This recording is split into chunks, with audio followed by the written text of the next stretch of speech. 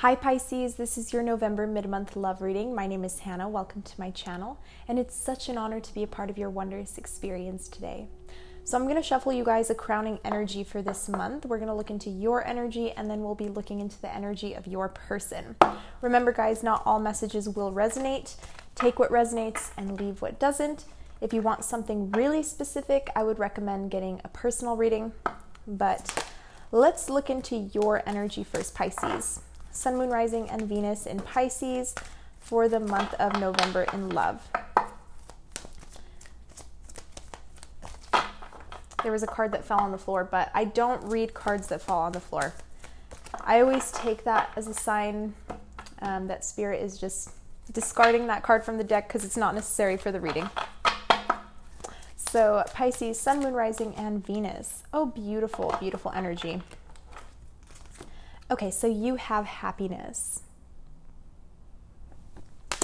So I'm seeing the vibe of like a love triangle or just having a lot of options this month. Like some of you are just swimming through life with all of your options and you're feeling really good, really confident.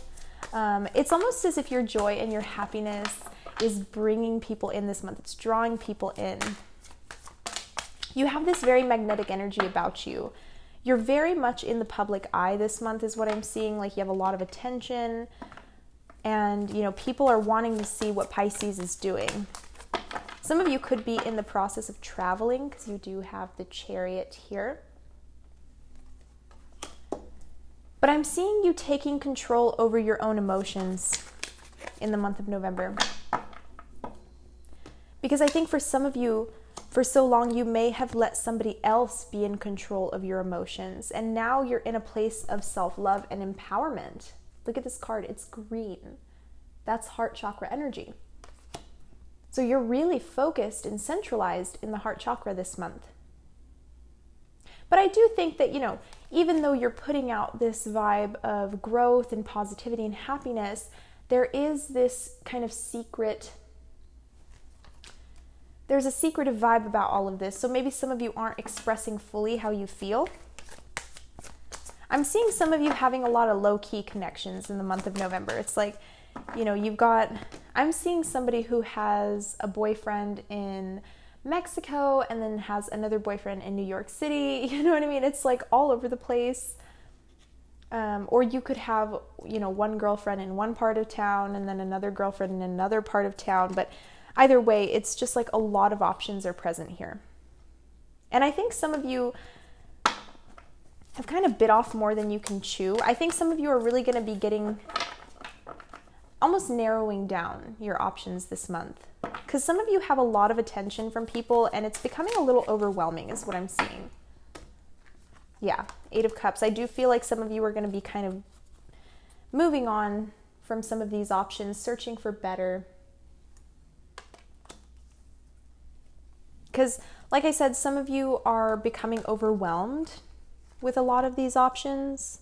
I'm seeing somebody who has a lot of secret, low key, kind of down low connections, and people are talking. That's kind of what I'm picking up. Like, people are talking, and your name might come up, and this person's name might come up, but it was supposed to be low key. You know what I mean? But it's it's not or at least it's not going to be for long. Like there may be somebody here who talks about getting with you or talks about being with you when it was supposed to be low key. And some of you feel like maybe embarrassed or something like that.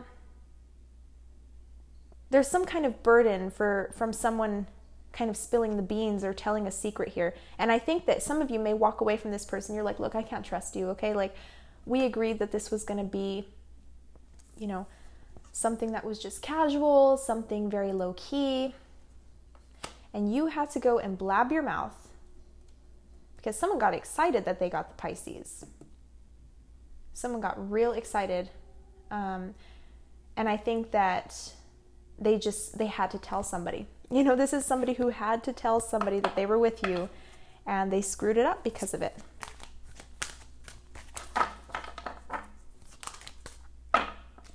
So let's look at the energy of your person. What is the energy of Pisces person in the month of November in love. Denial. Okay.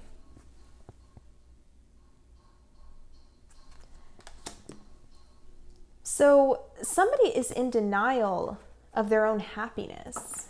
You know, somebody hasn't, it hasn't quite hit them how happy you make them or something of that nature. Let's look. Yeah, it could be an earth sign that you're dealing with Taurus, Virgo, or Capricorn.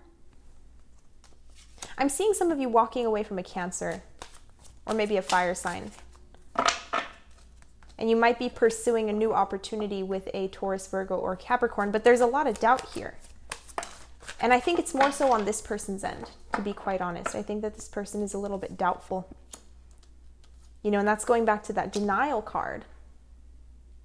It's almost the energy of like too good to be true.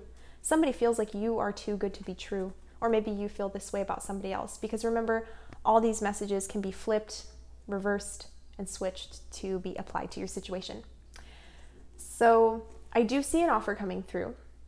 Strong earth sign energy once again um, somebody here is going to be buying you a gift, Pisces, or they're going to be buying you gifts in the month of November. I'm seeing somebody buying somebody a plane ticket or something like that. Somebody may even be buying somebody a home or paying somebody's rent. Okay, I see you, Pisces. Some of you got a little bit of a, a sugar mama or a sugar daddy going on here. Like this person might be paying your rent or they might be paying your car or they might be paying for you to travel with them or something like that, pay for you to go backpacking. I'm not quite sure. And of course, this won't resonate with all of you, but I do see where somebody here has a sugar mama. Okay, that is what I'm picking up here with the Empress and the Ten of Pentacles. Someone possibly has a sugar mama. But, you know, going back to the energy that I was picking up on earlier, I do feel like there is this sense of denial. Somebody just feels like you are so beautiful, Pisces. They feel like you are so gorgeous, and you are, okay? Because you're a Pisces. I love Piscean people, okay? I really, really do. I'm obsessed with you guys. I feel like you guys just complete me. um, I have so many Pisces friends, and I just love them all so much. But what I'm picking up here with the Empress is this person you know, they they've really got it down. Okay? Like they've really got a hold over their life. This is somebody who is successful. You know, they've really got it going on for them. This person could be a model or, you know, just somebody very attractive, very abundant. You could be dealing with a Taurus. Um, and I almost see that maybe somebody here is in denial that they're with somebody else because this person is just so, um, like, I'm almost getting the vibe of like a celebrity. Like, some of you might be dealing with a celebrity or somebody who's just very popular, somebody who has a lot of attention, or maybe this is you, maybe you're a celebrity or you have a lot of attention. And this person is like in denial. They're like, oh my gosh, I'm actually talking to Pisces. Like they're actually giving me the time of day. And I think it kind of worries them. Like, I think this opportunity with you kind of worries them. They feel almost like intimidated by you. That's kind of what I'm picking up. They feel intimidated by your beauty, or maybe this is how you feel about them. Um, it feels as though this person maybe doesn't feel like they have enough to offer. Like they might feel like you're out of their league or something like that. Yeah, there's a lot of doubt here. Like they want to make an offer to you, but I think they're very indecisive. They're very doubtful because they may feel like you're out of their league. They may feel like you, um, they kind of put you on a pedestal a little bit, is what I'm seeing. And it, it makes them feel nervous, it makes them feel worried because they feel like they don't have enough to offer you. But this person actually does have a lot. That's what I'm picking up. Like they're coming up as the Empress and the Ten of Pentacles. So this person does have a lot to offer. I mean, they they're really putting it out all on the table here too. Like they really got a lot to offer Pisces. But this person kind of struggles maybe with like their security or like their sense of security within themselves and I think they're kind of um, question questioning that. Like, like I said, they put you on such a high pedestal. Like, I think this person may be pretty important, or they may have some kind of social status. But even with that social status, this person still kind of views you as higher than them or views you as above them in some way, shape, or form because they kind of idealize you and they put you on a pedestal. They're like, wow, Pisces is so abundant. Pisces is so beautiful. Like, you know, and I only have this to offer. I only have such little to offer. They're they're kind of like maybe comparing themselves, not necessarily comparing themselves because it's not like it's not like they they they're jealous of you or anything like that. Like it's not that energy. It's more of like they feel like they don't have enough to offer you. And they really want to make an offer to you, but they just don't feel like they have enough. So they're feeling very doubtful.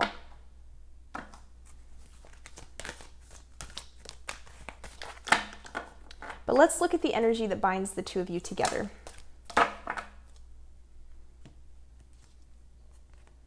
Ooh, grief. Interesting, interesting energy that binds you two together. Um, so I'm seeing a lot of center chakra energy, you know, heart chakra, solar plexus, and sacral. I feel as though this person has gone through something. I think that they're filled with a lot of regret or they're filled with a lot of maybe guilt or something like that, or, or even maybe it is grief. I'm seeing where maybe this person kind of had it all or something like that. They, you know, they may have lost it or something of that nature. They may be having to start back over from square one, and that's kind of why they don't feel like they have enough. I, I'm not quite sure. But I'm seeing where this person has recently lost something or someone. So, and, and, and you have too. You know, you're, this is the energy that binds the two of you together, and it's grief. So, both of you are really bonding with one another through your own grief and through your own burdens and wounds.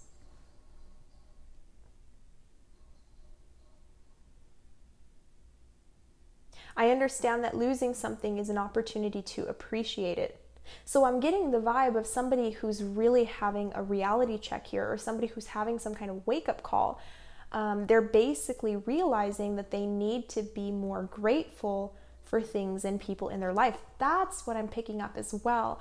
You know, going back to that energy that I picked up earlier about somebody who had lost maybe everything that they had, lost their status, they lost their money um, and they've kind of had to start back over again. This has given them a new sense of awareness, or maybe this is you, this has given you a new sense of awareness um, that has made somebody realize here that they need to appreciate the things and the people in their life more. So I'm seeing where this emotional grief binds the two of you together. So you're really going to kind of learn how to appreciate one another, and sometimes, even more importantly, how to be appreciated. Because sometimes we don't want to accept appreciation from others. You know, we don't want to accept these gifts that others bring us. And Pisces, I'm picking up that this person wants to give you some kind of gift. They want to make some kind of offer. They want to come through here. They see an opportunity with you. They do but they're just so nervous. They're so nervous because maybe they feel like they'll lose you. Um, or, like I said earlier, maybe they feel like they don't have enough to offer you. But that is what I'm seeing here. If you'd like to book a personal reading, go ahead and click the link down below in the description box. It'll take you to my website and you can book there. But other than that, I will see you later. Take care, Pisces, and have a beautiful rest of your month. Bye bye.